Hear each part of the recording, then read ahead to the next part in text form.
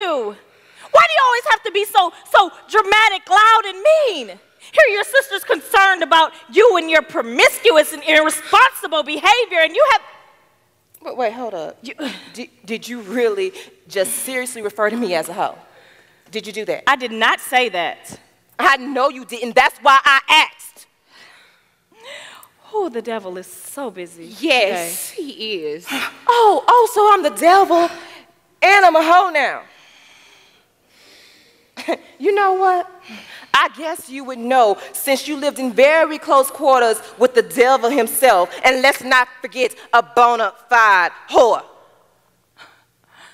Lisa, my husband has nothing to do with Oh, he has everything to this. do with this. He has every damn thing to do with this. Mr. Small Mole on his inner thigh. And banana shaped birthmark on his abdomen. You damn whore! How could you, Lisa?